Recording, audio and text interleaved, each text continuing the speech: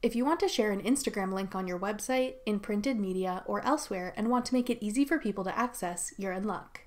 I'm Jessica from techboomers.com and in this video I'll show you how to generate a QR code link to an Instagram post. Now let's get started.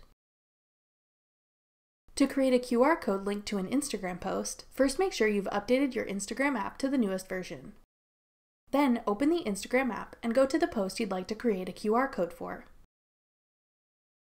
Now tap the three dots in the top right corner of the post. In the menu that appears at the bottom, select the QR code option.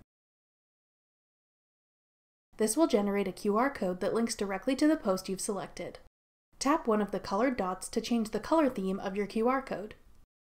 Tap Save to Camera Roll to save an image of the QR code you've generated. Then you can use that image wherever you'd like. When someone scans the QR code, they'll be taken directly to the Instagram post you link to. That's all it takes to create a QR code for an Instagram post. Thanks for watching. If you found this video helpful, we'd love it if you'd hit the thumbs up button below and subscribe to our channel. We put out great new tech tutorials like this one every week.